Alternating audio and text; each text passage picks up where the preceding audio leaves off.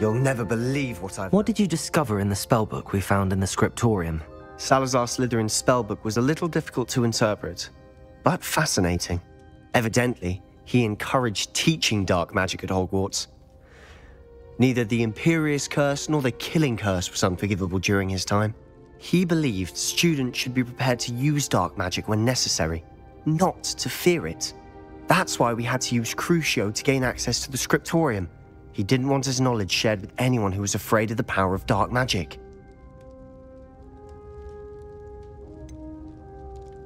It was hard to do, but casting Crucio was our only option.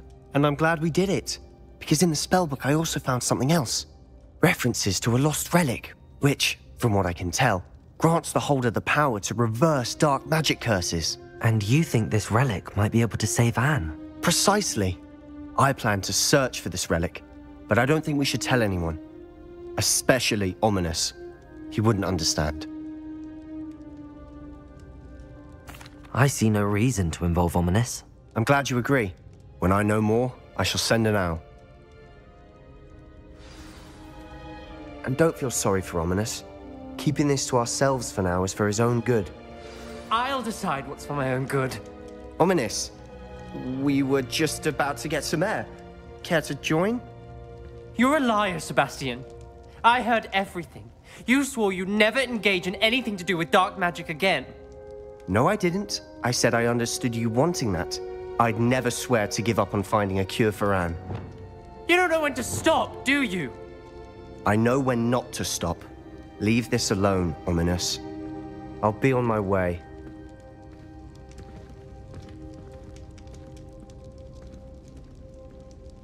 I am not letting this go.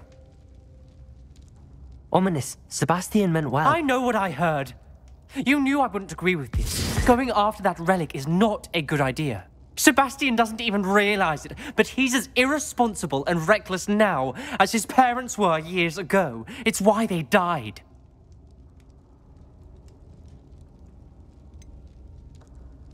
I knew his parents died, but I never heard what happened. Mr. and Mrs. Sallow were professors. Spent nearly every waking moment in the cellar library. Noses buried in books. Anne and Sebastian were upstairs when it happened. They heard a sudden crash and ran downstairs, but it was too late. Their parents had crumpled to the floor. A defect with the lamp in the cellar caused the room to fill with an undetectable toxin. Sebastian and Anne were helpless. They had no magic yet. What a horrible story. It is. That's why I can't understand Sebastian's recklessness. I've practically lost Anne. I cannot lose Sebastian, too. Please avoid anything to do with that spellbook. Those references in the book seem promising. Everything to do with Salazar Slytherin seems promising until it's too late. I hope Sebastian pursues this no further, but if you think he might, please let me know. It would mean a lot.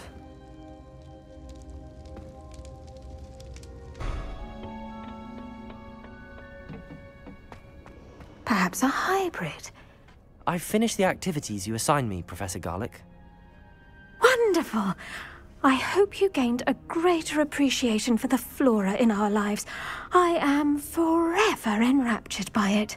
Just yesterday, I spent hours pruning my self-fertilizing shrubs and flutterby bushes. Didn't realize how long I'd been at it until the sun began to set. Well, if there's one thing I love to see more than my plants thriving, it's one of my students doing the same. Ready to learn Flipendo? Chin up, keep a light grip, and it's all in the wrist. Let's see you give it a go.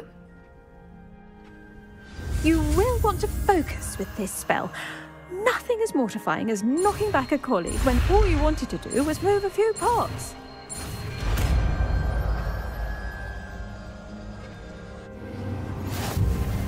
Wonderfully done!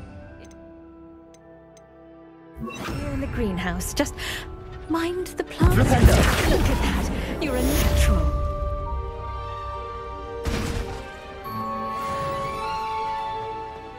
Revelio.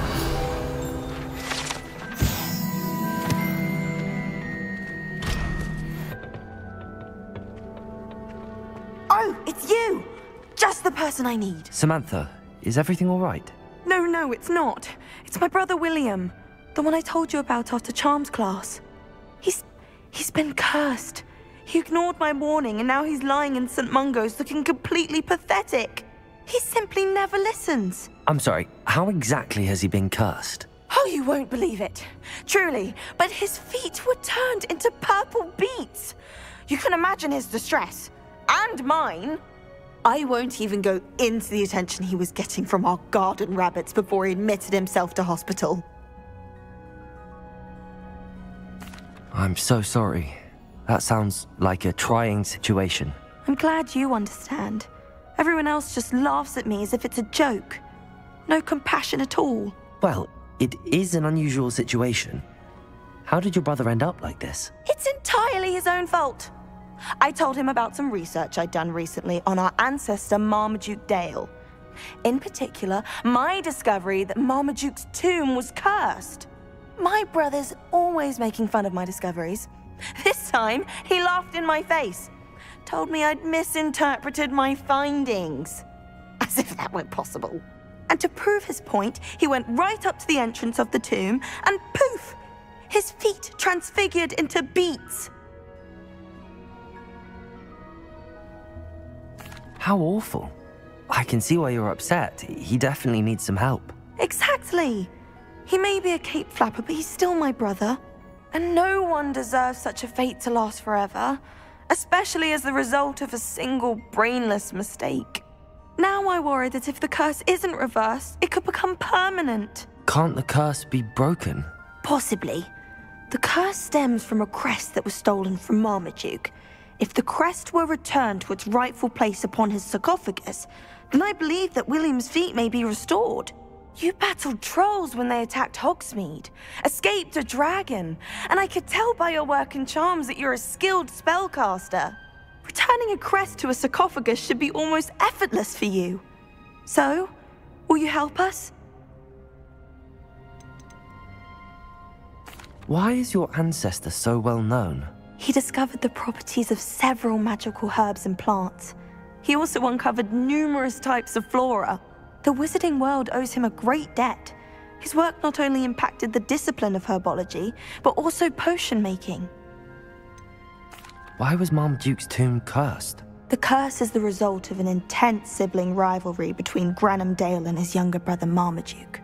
Marmaduke was a famed herbologist, and Granham resented the attention that he received. Sibling rivalry?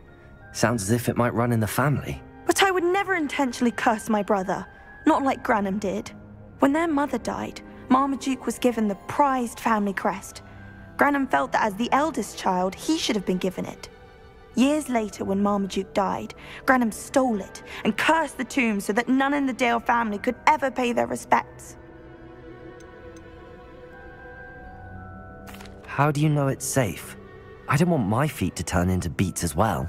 Oh, but the curse only applies to Marmaduke's descendants, as my brother so aptly demonstrated. That's why I need your help. You're unrelated to my family, so the curse wouldn't affect you. I can take the crest to Marmaduke's sarcophagus for you. Oh, thank you! Thank you so much! You'll simply go into the tomb where Marmaduke was laid to rest and place the crest on top of his sarcophagus. According to my research, the tomb's been abandoned for centuries, so it should be a fairly simple task. You'll find it just east of the hamlet of Brocburrow. Thank you for your help. Revelio.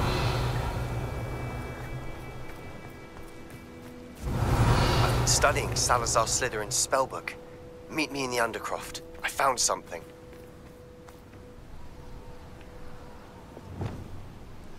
Levioso. Revelio. Levioso.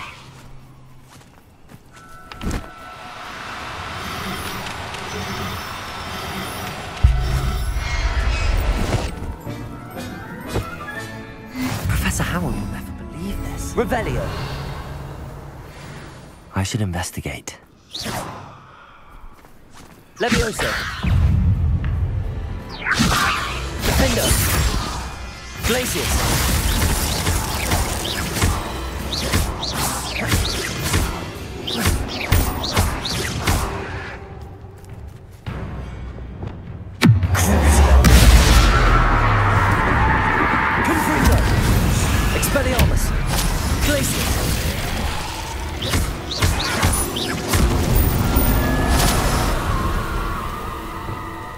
Revelio.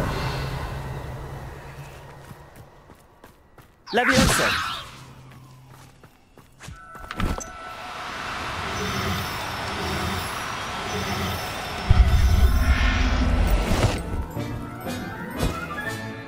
I'll look after you.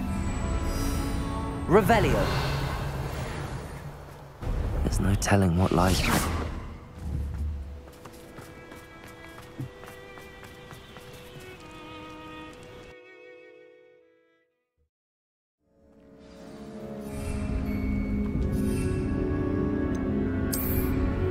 Well, my feet didn't turn into beets. That's a good start.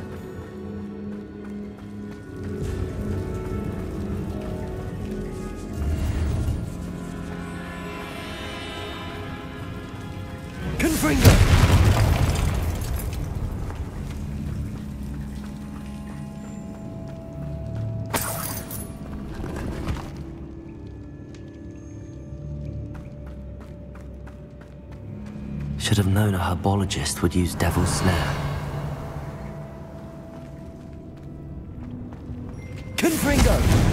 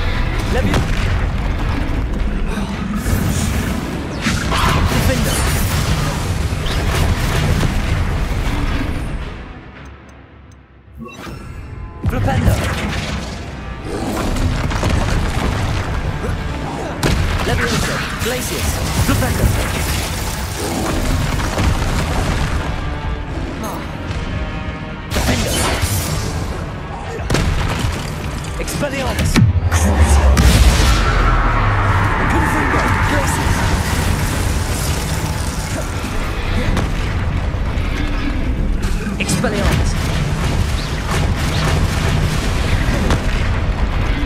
Glacius. Confringo. Expelliarmus.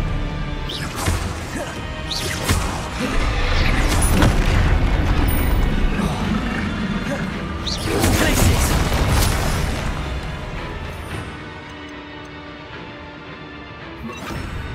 Incendio. Glacius. Expelliarmus. Confringo.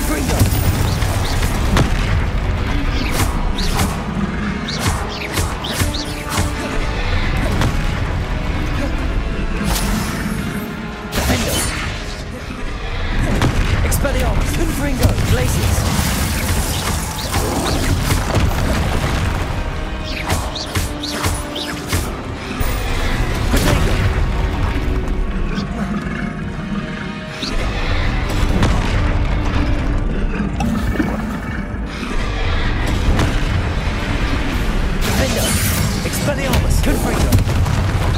Glacius.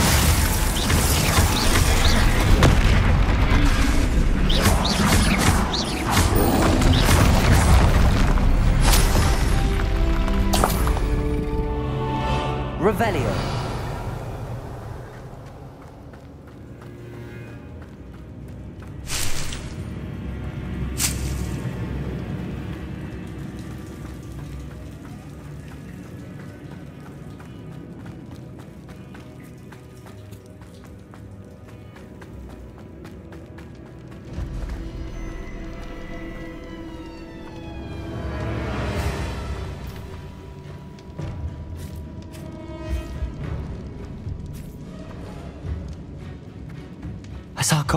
That should reverse the curse. Hopefully.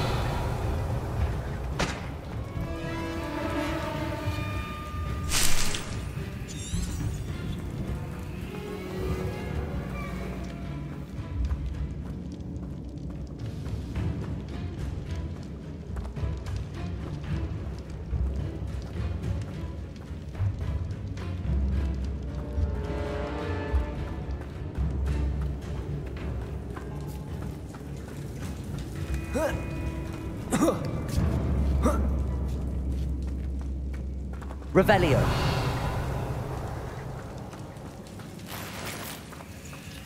Well, Marmaduke certainly left behind more than plants.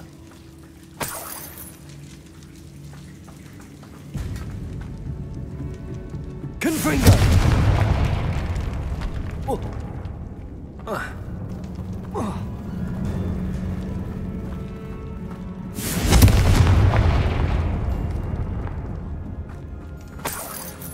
Revelio.